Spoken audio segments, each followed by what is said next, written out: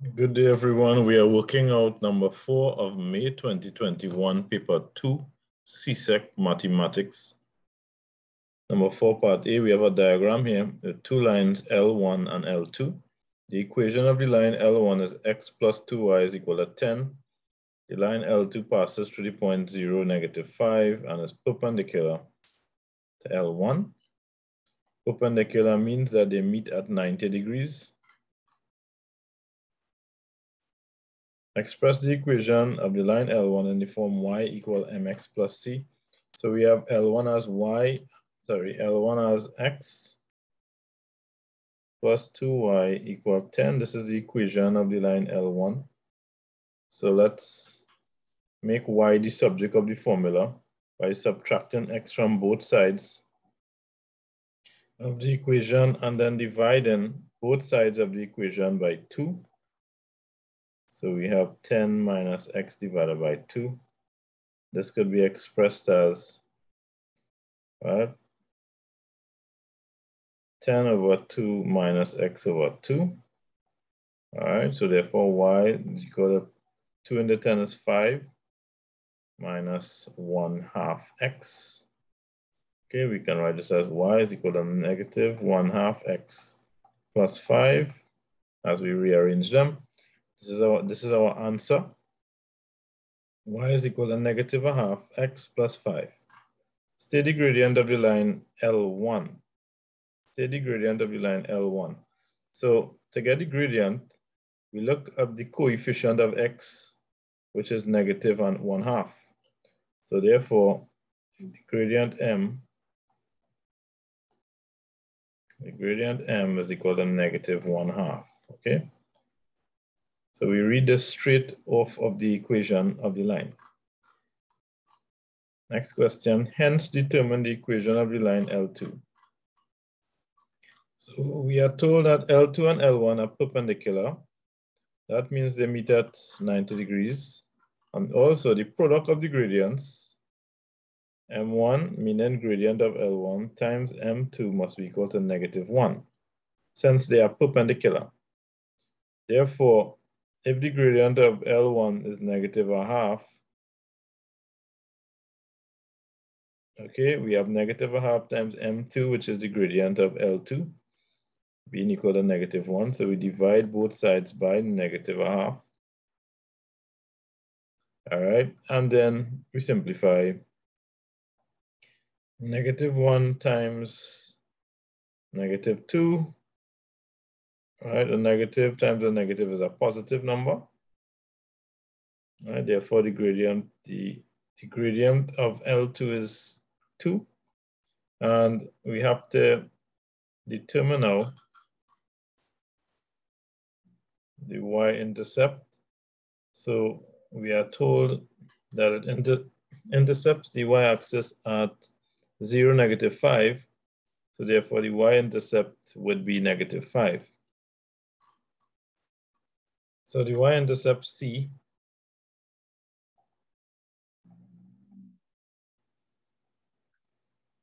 be negative 5, all right, for the line L2. Okay, so we have the gradient and the y-intercept. So equation of line L2 all right, is y equal negative sorry. Okay, um, the gradient is two, so y equal mx plus c, c is negative, so this is the gradient. We just substitute the value for m, and we substitute the value for c, which is negative 5. So we have y is equal to 2x minus 5. Okay. Moving on. This is a functions question.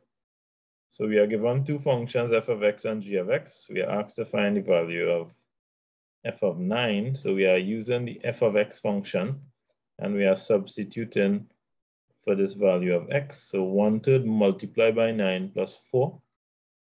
And we work this out. 3 into 9 is 3. 3 plus 4 is 7. That's the answer. Calculate the value of f of g of negative 3.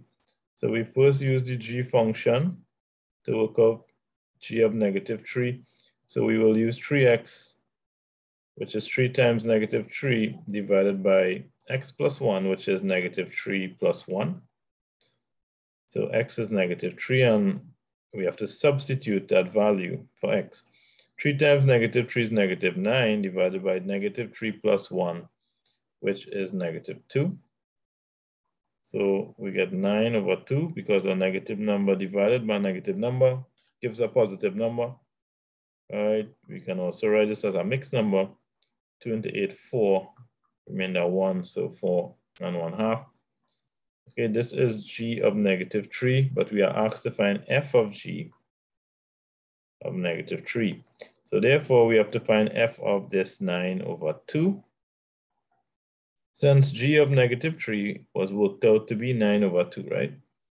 So we go back to our f function, 1 third x plus 4. And we are going to substitute into that function now. So x is 9 over 2 plus 4. So 1 third multiplied by 9 over 2. We can cancel 3 into 3, 1, 3 into 9, 3. So we get 1 times 3 is 3 over 1 times 2 is 2 plus 4. So this two, 3 over 2 is 1 and 1 half as a mixed number. All right, 2 into 2, 1, remainder 1. All right, so 1 and 1 half plus 4 is 5 and 1 half. This is the answer to our question. Determine the value of x for which g of x is equal to 5 over 2. So we go back to the g function, g of x, and we have 3x over x plus 1. So g of x is 5 over 2.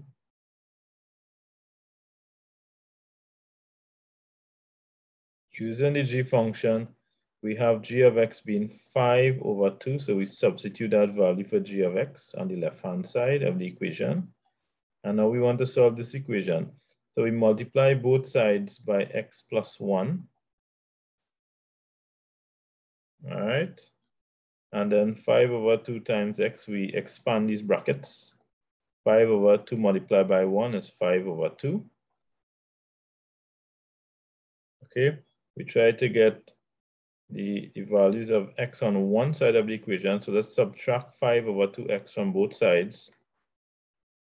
So we now have 5 over 2 is equal to 3x minus 5 over 2x.